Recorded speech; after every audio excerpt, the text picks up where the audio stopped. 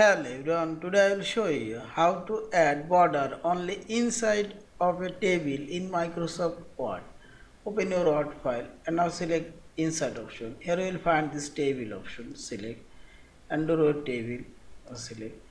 Now increase your table area. Now click on this table and dragging your mouse select whole table and now select design option already select now select here no border option select here border color. Sorry border style. I choose this border style. And border color. So this is border white and border color I choose this border color. Now select border option. Select this arrow option. And here you will find this inside of border. And see this inside border already added and outside border remain. Belong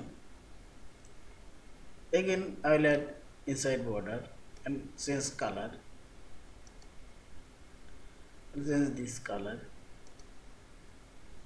Again select this border option and select inside border and see this. Inside border already showing and outside border remain belong yeah. Thank you for watching. Please subscribe like share and comments